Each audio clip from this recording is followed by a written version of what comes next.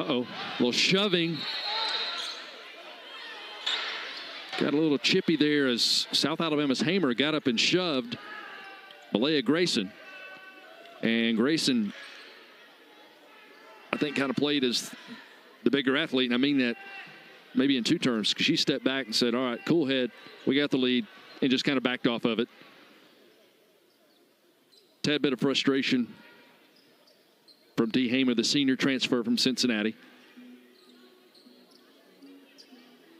Oh, probably deservedly so. She took the forearm to the upper chest, right across the solar plexus.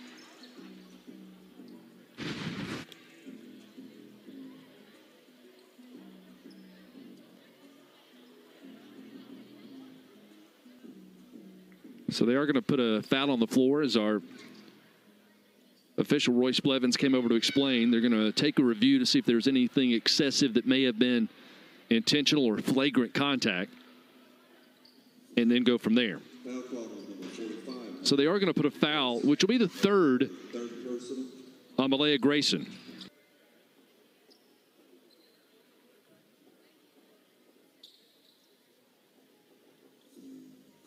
So there was D. Hamer who shoved after the contact. So the official came over and gave an explanation that there was going to be a foul call, but was the foul on this, the shove that put Grayson to the floor, or is it there on the pushback by Hamer?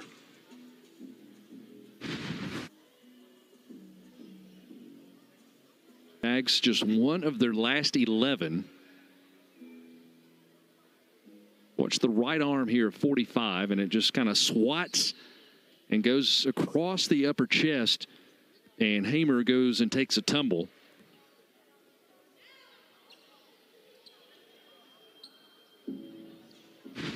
That's the Ric Flair chop, but don't quote me.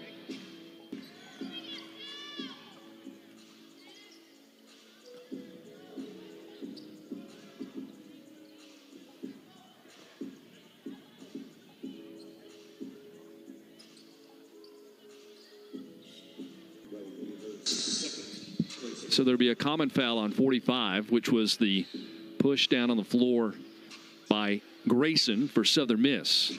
And because of the bonus situation, we'll go to the right end and shoot two. Then there will be a technical foul or a